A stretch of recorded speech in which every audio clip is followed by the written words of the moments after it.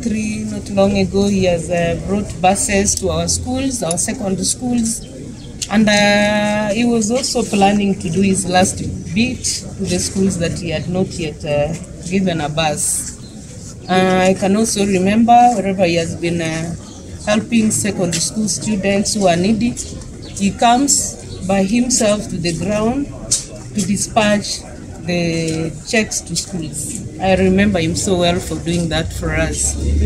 Yeah. children in school and those who are vulnerable members of society. He has worked very well, represented the constituency at uh, the national level, and uh, he started getting sick late last year.